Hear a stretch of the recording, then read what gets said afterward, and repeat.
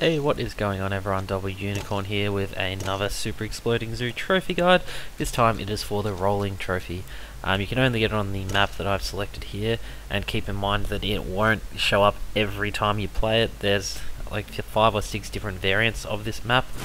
Um, so just keep trying until you get the right one. You'll know you got the right one because on the inner square there will be uh, these wooden boxes in the corners. That is where the pandas spawn from.